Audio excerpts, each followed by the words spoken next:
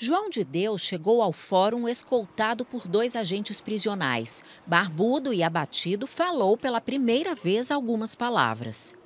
Estão vendo que eu estou morrendo. Ele responde por posse ilegal de armas por conta do revólver calibre 32 e as munições encontradas na casa dele em Anápolis.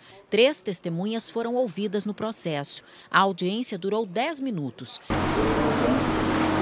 E João de Deus foi conduzido de volta ao presídio. Hoje ele não foi ouvido porque há, há, ainda necessidade, segundo a defesa, de se ouvirem outras testemunhas. E segundo o Código de Processo Penal, apenas após a oitiva de todas as, as testemunhas é que se pode fazer o um interrogatório.